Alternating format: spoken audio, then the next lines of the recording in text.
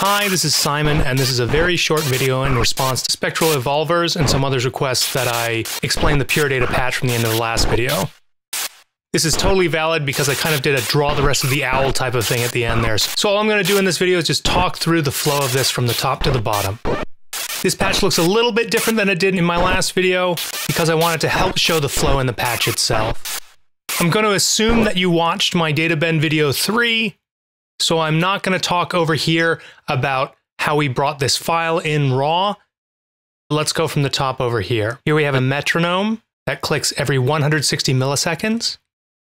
Here we have a little construct that gives us a counter. I talk about this in my second Pure Data video too. This f object stores a float. So at the beginning, we'll store a float of negative 1. This is our reset button here.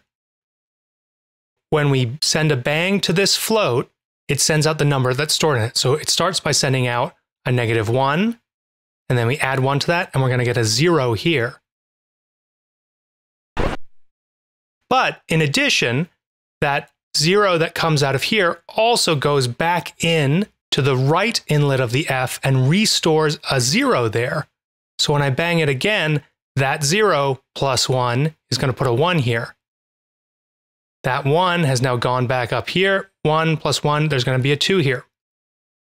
If you're using Pure Data Extended or you have external objects, you can actually do this with a counter object. But since I'm trying to do all my work in Pure Data Vanilla for compatibility, I build my counters like this. Here we have a modulo 32. So whatever number comes through here, we take the remainder when it's divided by 32.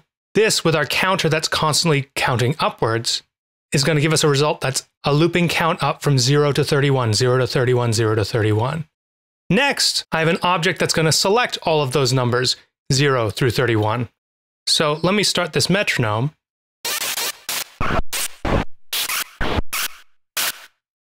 Once it selects those, it sends them out of the appropriate outlet there. So we have a sequencer that's constantly cycling around and around. It's worth noting that even though I'm showing all of these counts from 0 to 31, they don't all go somewhere. We see this one is connected, here, here, here, here, and we see that they're connected to different places. Now, all of these are playing spots from our DataBend buffer here. I'm choosing a space between zero, the beginning of the buffer, and I'm sending out the end of the buffer here. Choosing the random spot of the buffer. This number is just monitoring the random start point of the buffer. Dollar sign one is replaced by the number that comes in, so that's our start time. This number here is once again the length of the sample that I'm playing with my tab play. 6,000 samples, 6,000 samples, 8,000 samples here. Again, since this is 8,000 samples long, that's why I want to make sure I'm starting 8,000 samples away from the end of the buffer. Tab play plays that. For here and here, I've added a high pass filter. This is a one pole high pass filter at 1000 hertz. Here, I have two low pass filters. Conceptually, I'm thinking about this sound as a bass, and these sounds more like snares or hi hats. These multiplications are attenuation. Remember when we have multiplication tilde, we're affecting the amplitude of the signal. So 0.2, and then I'm sending that to the delay. Here, 0.5, 0.5, they go to the left and the right. Let's set aside the delay for the moment. Left and right.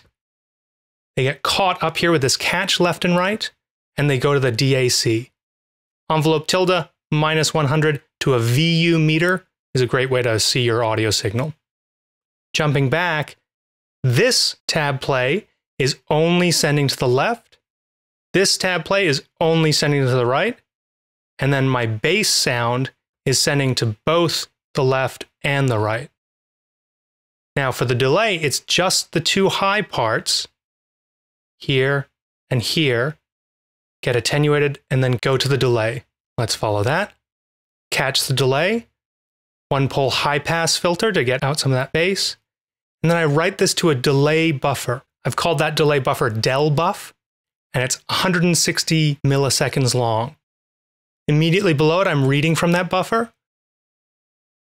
So on the left side, I read from it 160 milliseconds later, attenuate again, take out some of those high frequencies, and then I throw that to the left, same way I throw it to the left here, gets caught here and sent to the speakers.